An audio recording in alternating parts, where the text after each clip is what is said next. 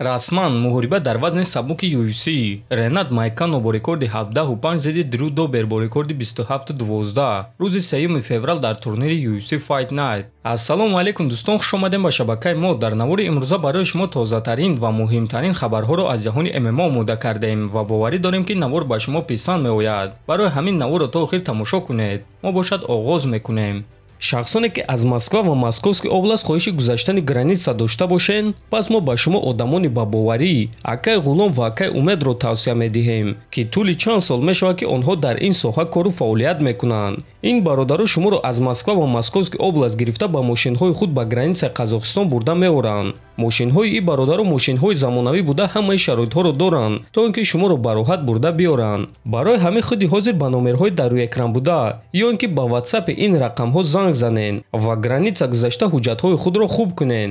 Ва агар ки скидка гирифтан хоҳед пас ҳатман аз номи канали мо паҳлавон теҷа гап занед. Роҳи сафед дӯстон.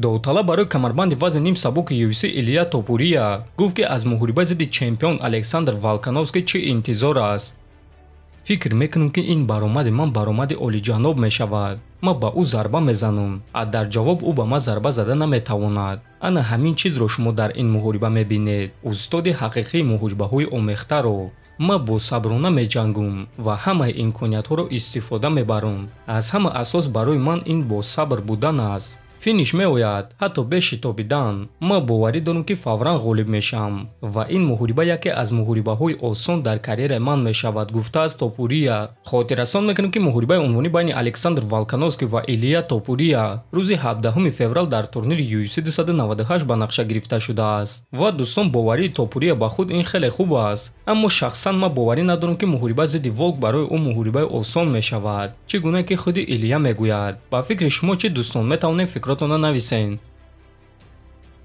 шаби гузашта чемпиони вазни сабуки ufc ислам махачев интервюи калон дода оиди визови арманд сарукян ва оиди муҳориба зидди леон эдвардс ва колби ковингтон фикрашро баён кард.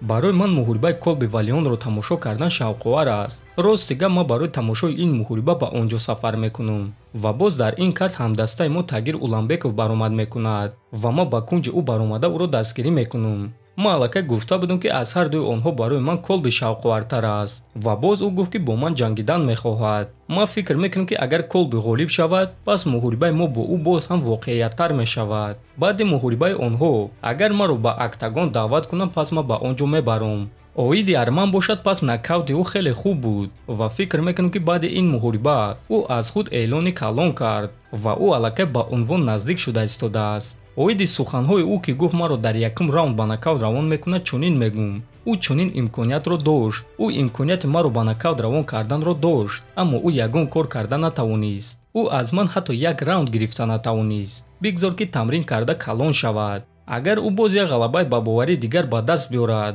ва роҳбарони ufc ӯро рақиби ман эълон кунанд пас ман бо ӯ меҷангум. Ман чанд маротиба гуфта будам ки реваншҳо барои ман на он қадар шавқовар аст. Чунки агар ту рӯйхати хуб доштан хоҳӣ пас ту бояд ки рақибони навро шикаст диҳӣ. Ҷастин геҷи ҳаст ки ман фикр мекунам ки муҳориба бо ӯ барои ман шавқвартар аст. Аз муҳориба зидди арман ва оливера дида ман тайёрам ки моҳи мард муҳориба гузаронам гуфтааст махачев дӯстон дар ҳақиқат реванш барои бойдодагӣ шавқовар аст а барои ғолибшудагӣ реванш шавқовар нест. Барои ҳамин муҳориба зидди геҷи ё ғолиби колби валион барои ислам шавқовартар аст.